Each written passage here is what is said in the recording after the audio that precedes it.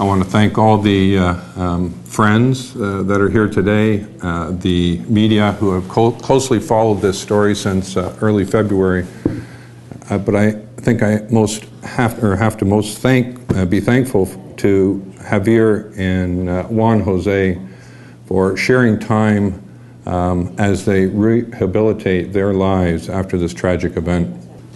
I am so proud and surprised of the outreach and the support that uh, has come from UFCW Canada members across the country, from coast to coast, from our local unions, from the labor, the broader labor community, and from individuals, and quite frankly, unexpected individuals who made contributions to this fund.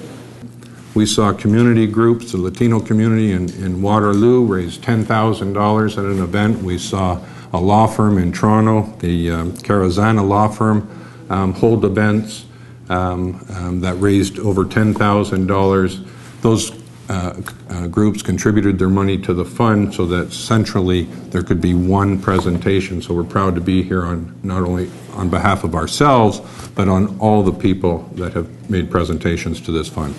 As a result of this support from Canadians, we were able to raise over $210,000 for the surviving workers and the family of the workers that were killed on February the 6th.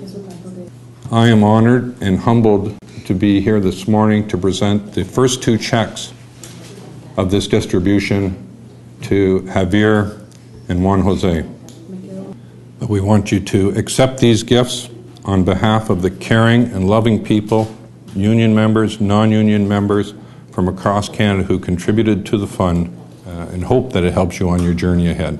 de las personas, de las clases de personas que he conocido, que Dios me ha dado esa oportunidad de, de sobrevivir, no saber por qué estamos vivos nosotros, con ese propósito ¿no? de mantenernos con vida. Soy testimonio de vida, de lucha y de agradecimiento para todos ustedes. De verdad, muchas gracias a todos por haber hecho posible todo esto. Muchas gracias. I am a testament of life.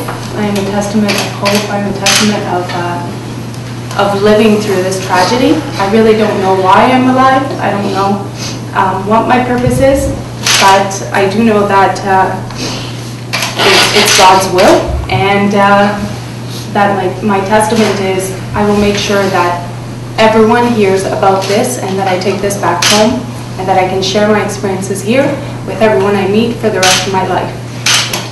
Yo agradezco igual a todas las personas que hicieron posible reunir este dinero que nos va a servir para poder facilitar en algo la ayuda a nuestras familias. Pero al igual que mi compañero experiencia vivida después del, del choque fue terrible para mí, puesto que yo estaba muriendo y no y tenía razones muy grandes por seguir en este mundo y eran mis hijos. Dios me perdonó la vida y me tiene hoy aquí conociendo a muchas personas nuevas para mí. Y saludos especiales a mis compatriotas Milagro, a mi compatriota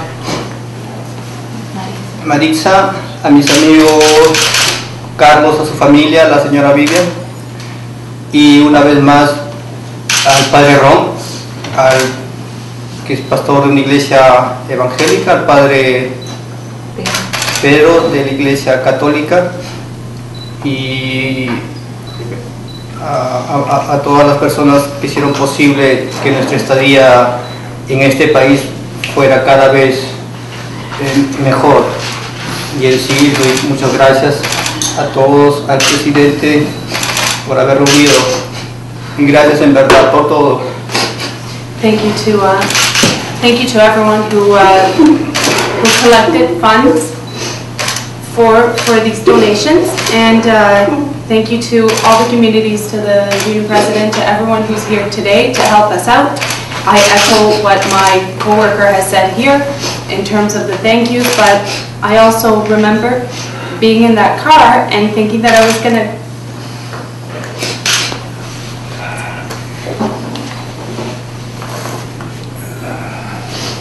I remember being in that car and uh, thinking that I was gonna die, but for some reason, God wanted me to live. And so I did. And I lived for my two children. He has a 14-year-old and a nine-month-old. And uh, for them, I am here today. And, uh, and I thank you so much for, uh, for your support. To Milagro, to Maritza, to Marilu, to all my friends, to everyone who has supported me, and everyone who is here today.